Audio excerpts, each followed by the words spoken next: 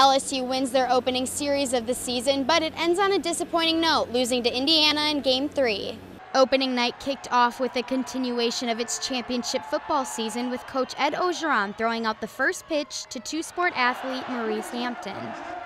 That energy continued to flow throughout Alex Box Stadium as the Tigers started off the series in a positive direction, taking victory over the Hoosiers in the first game 8-1, followed by the second win 7-4. However, LSU was unable to complete the sweep, losing the third game 7 2. Part of the team's success Friday night came from freshman second baseman Cade Doughty, who hit a home run on his first collegiate at bat.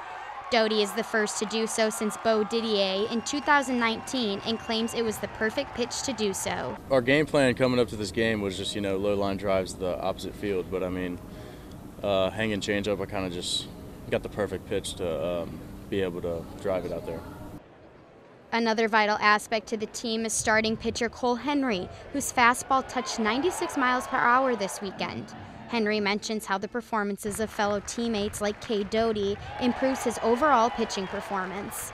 As a starting pitcher, whenever guys score runs in the first couple innings, that kind of takes some stress off you a little bit, and kinda, you can kind of breathe a little bit and um, make certain pitches that you might not make in a close game. So throwing more fastballs, you know, trying to get first pitch outs and quick outs and stuff like that. That's that's all the difference. So it takes a lot of stress off me. And I like I like when we score runs for sure. Next up for the Tigers is another home game here Tuesday at 5 p.m. against neighborhood rival Southern. For WAFB 9 Sports, I'm Sophia Pollman.